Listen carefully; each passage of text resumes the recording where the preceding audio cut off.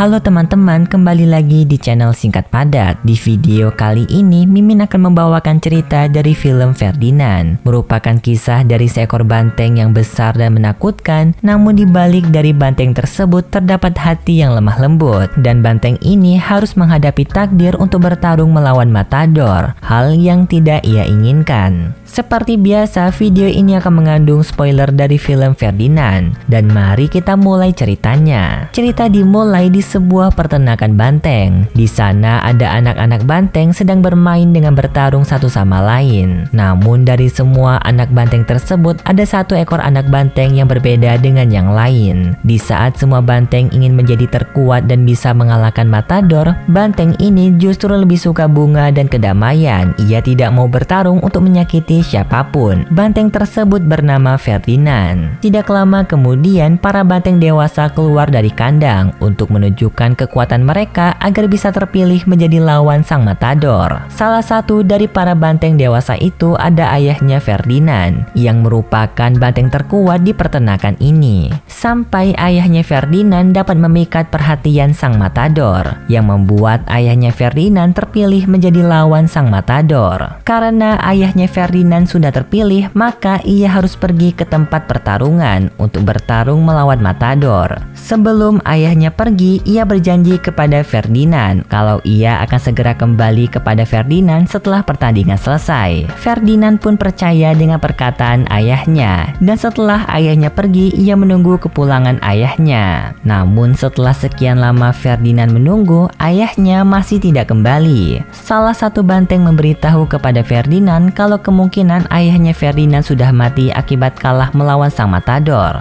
Ferdinand yang mendengar itu sangat sedih, namun salah satu penjaga datang untuk memasukkan Ferdinand kembali ke dalam kandang. Di saat itu, Ferdinand panik dan ia memutuskan untuk kabur dari sana. Ia berlari melewati penjaga, keluar dari pagar, dan berhasil kabur dengan menaiki kereta api.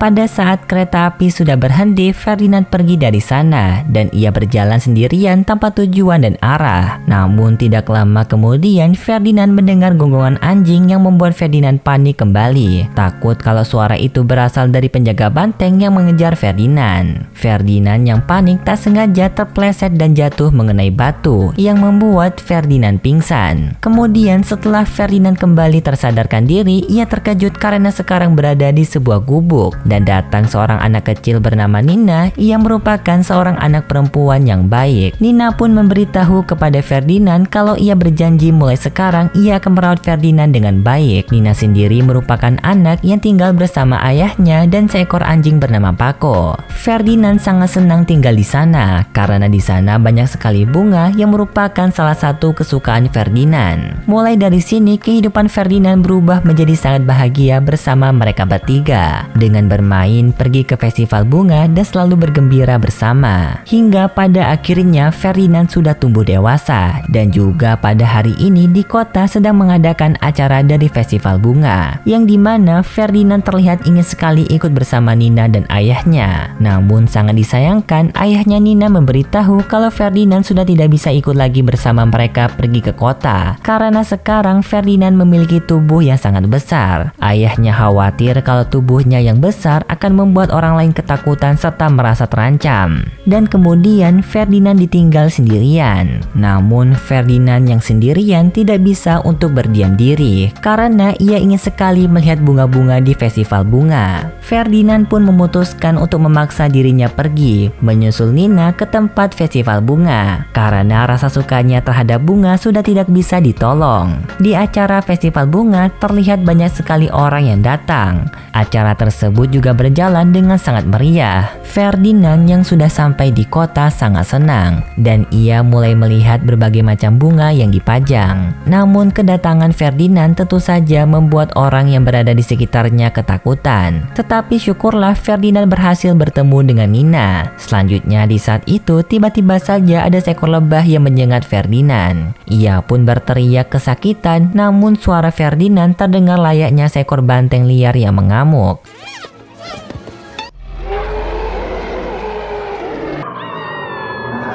Ferdinand yang merasakan kesakitan tak sengaja membuat kekacauan dan kepanikan di festival tersebut. Kemudian datanglah beberapa orang penjinak banteng. Di sana mereka berhasil menangkap Ferdinand. Dan Ferdinand pun akan dibawa ke tempat pertenakan banteng. Nina yang melihat temannya akan dibawa sangat sedih karena ia tidak rela Ferdinand dibawa pergi. Namun mau tidak mau Ferdinand harus dibawa karena ia sudah membuat kepanikan di dalam kota. Ferdinand pun dibawa pergi ke tempat yang sangat jauh dan ternyata tempat itu merupakan tempat pertenakan banteng yang merupakan rumah lama Ferdinand. Ferdinand pun dimasukkan ke dalam peternakan, ditemani dengan seekor kambing penenang bernama Lupe. Di sana Ferdinand bertemu dengan teman lama dan teman barunya, dimulai dari Bones, Guapo, Angus, Maquina, dan yang terakhir Valiante, merupakan banteng yang dulu dan sampai sekarang membenci Ferdinand. Kemudian di saat Ferdinand sedang tidur, ia terbangun karena ada tiga ekor landak yang sedang mencuri barangnya. Namun karena Ferdinand yang baik hati, ia memilih untuk memaafkan para landak tersebut. Dan karena keramahan Ferdinand, mereka pun saling berteman. Di malam itu juga, Ferdinand mencoba untuk kabur dari peternakan dengan cara yang sama waktu ia masih kecil, yaitu melewati pagar. Namun sangat disayangkan, pagar tersebut telah diganti dengan pagar listrik yang membuat Ferdinand tidak bisa melewati pagar itu. Keesokan harinya, peternakan banteng kedatangan tamu, seorang matador yang sangat hebat bernama El Pimero, yang di mana kedatangannya ke sini untuk mencari seekor banteng yang sangat kuat agar ia bisa menampilkan pertarungan yang sangat spektakuler di pertarungan terakhirnya. Karena setelah pertandingan ini, El Pimero akan pensiun. Semua banteng pun dikeluarkan oleh peternakan termasuk Ferdinand. Mereka semua menunjukkan kekuatan mereka masing-masing agar bisa terpilih oleh El Pimero. Namun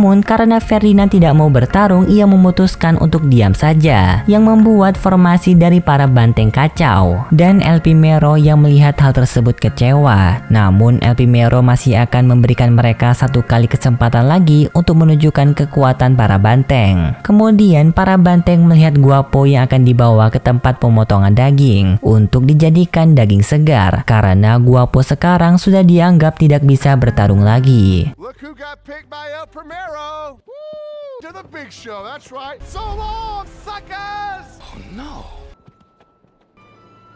Setelah itu, para banteng pun berlatih sangat keras agar mereka tidak bernasib sama dengan Guapo. Kecuali Ferdinand yang masih yakin kalau ada celah yang bisa dipakai sebagai jalan keluar kabur dari peternakan. Kemudian, Ferdinand melihat para banteng yang terlalu tegang akibat ketakutan terhadap ancaman dari peternakan yang akan dijadikan daging apabila mereka tidak bisa bertarung. Di sana, Ferdinand mencoba mencairkan suasana dengan mengajak mereka bertanding dance melawan tiga ekor kuda rencana Ferdinand pun berhasil. Para banteng terlihat lebih tenang dan bergembira dari sebelumnya.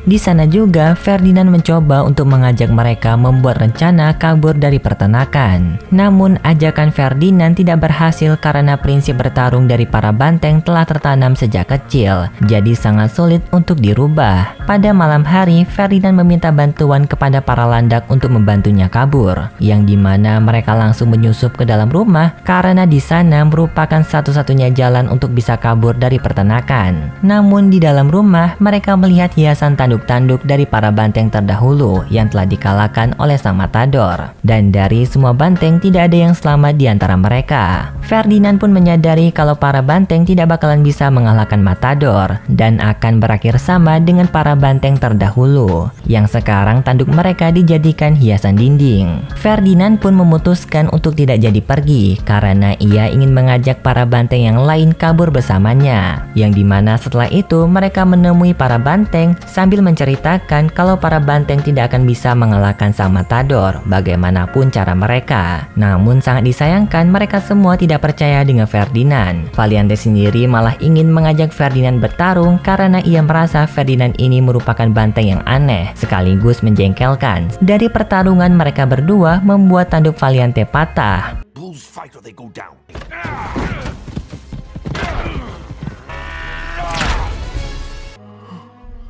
Tanpa mereka sadari, pertarungan mereka disaksikan oleh El Primero. Di sana, El Primero menunjuk Ferdinand untuk menjadi lawannya di pertandingan besok. Sedangkan Valiante dibawa ke tempat potong daging karena Valiante sudah dianggap tidak bisa bertarung akibat tanduknya yang patah. Kemudian, para banteng yang lain pun sekarang setuju dengan rencana pelarian Ferdinand. Namun sebelum itu, Ferdinand ingin pergi ke tempat potong daging untuk menyelamatkan Valiante. Ferdinand pun memasuki tempat tersebut dan ia mulai mencari Valiante sampai akhirnya ia berhasil menemukannya. Dan di saat yang bersamaan juga, Ferdinand mendengar suara Guapo yang ternyata ia masih hidup. Singkat cerita, Valiante, Guapo, dan Ferdinand berhasil keluar dari tempat potong daging. Namun aksi mereka terdengar oleh para peternak. Mereka semua pun segera kabur menggunakan mobil bak. Namun para peternak masih mengejar mereka hingga pada akhirnya mereka terjebak pada kemacetan. Para peternak pun mulai mendekat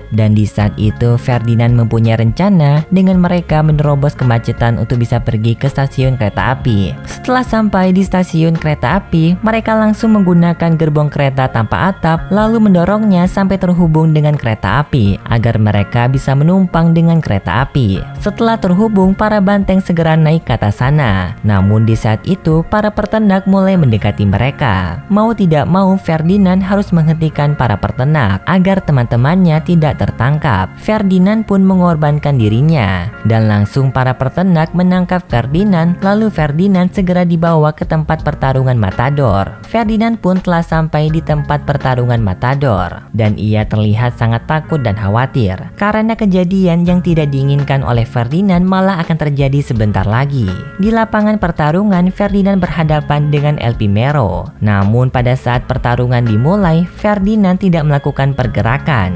El Primero pun memaksa Ferdinand untuk bertarung dengan ditakuti oleh para pengawas. Di saat itu, Ferdinand tanpa sengaja mengambil kain merah milik El Primero. Dan El Primero ingin mencoba untuk merebutnya kembali. Namun, El Primero malah dibuat malu oleh Ferdinand. Karena ia justru terlihat seperti menjadi banteng sedangkan Ferdinand terlihat seperti menjadi matador. Yang membuat para penonton semakin terhibur.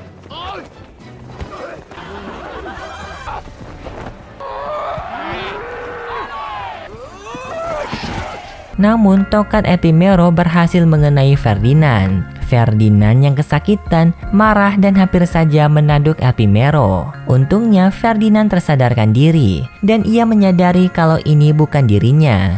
Ferdinand pun melepaskan El Primero. Namun di saat itu El Primero mengambil pedangnya untuk membunuh Ferdinand sebagai penutupan acara dari pertandingan Matador. Tetapi Ferdinand tidak melawan dan ia justru duduk di hadapan El Primero yang membuat para penonton kasihan dengan Ferdinand dan mereka meminta El Primero untuk melepaskan Ferdinand yang di mana El Primero menyetujui permintaan para penonton. Tak disangka di saat itu Nina datang dan langsung memeluk Ferdinand. Mereka berdua pun sangat senang karena akhirnya bisa bertemu kembali. Si pemilik peternak pun terharu melihat pertemanan mereka